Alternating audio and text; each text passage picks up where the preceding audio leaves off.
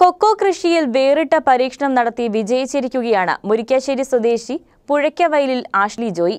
കൃത്രിമ പരാഗണത്തിലൂടെയാണ് കൊക്കോയിൽ കൂടുതൽ വിളവ് ഉണ്ടാക്കിയിരിക്കുന്നത്. ഇടുക്കിയിൽ വനംവകുപ്പ് ഉദ്യോഗസ്ഥയാണ് ആഷ്ലി ജോയി.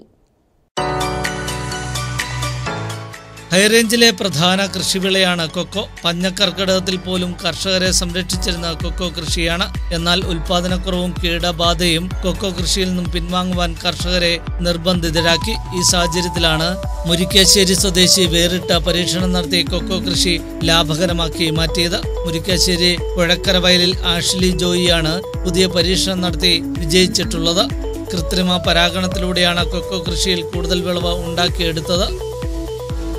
ഒരു കാര്യം നമുക്ക് മനസ്സിലാവും. അവർ ചെയ്യുന്ന അല്ലെങ്കിൽ അവർ കാണിക്കുന്ന ഫോട്ടോസിൽ കൊക്കോ ചെടികളിൽ ഇതുപോലെ നിറയെ പൂവുകൾ നിൽപ്പുണ്ട് നല്ല കായ്കൾ പിടിച്ചേക്കുന്നുണ്ട്. അപ്പം അത് വെച്ചിട്ട് നമ്മൾ നമ്മുടെ പൂ എടുത്തിട്ട് നോക്കി ജസ്റ്റ് ഒന്ന് രണ്ട് പ്രാവശ്യം ചെയ്ത് നോക്കി.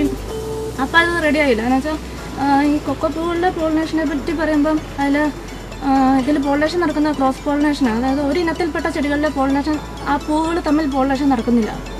അപ്പം നമുക്ക് അതിനെക്കുറിച്ച് അറിയത്തുണ്ടായിരുന്നില്ല. അപ്പോൾ നമ്മൾ ഈ ചെടിയിലെ പൂവുകൾ തന്നെ ഉപയോഗിച്ചാണ് നമ്മൾ പോളിനേറ്റ് ചെയ്തത്.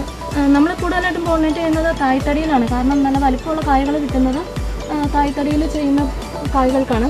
പിന്നെ ചാകുകളിലും അത്യാവശ്യം കായ ഉണ്ടാകും അത് നാച്ചുറലായിട്ട് അത് പ്രകൃതിദത്തമായിട്ട് അല്ലെങ്കിൽ ഇതിൽ പോളിനേറ്ററായിട്ടുള്ള ജീവികൾ വഴി പോളിനേറ്റ് ആവുന്നതാണ്.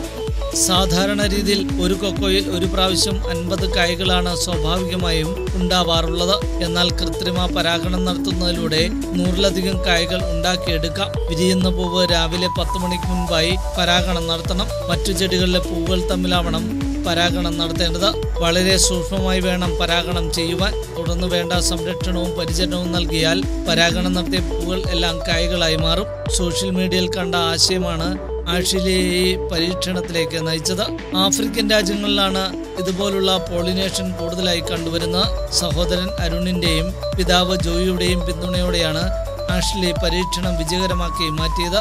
വനം വകുപ്പ് ഉദ്യോഗസ്ഥ കൂടിയാണ് ഈ കർഷക. സൽജേറ്റ് തോപ്പ് മുസ്ബീറോ മുരിക്കാശ്ശേരി.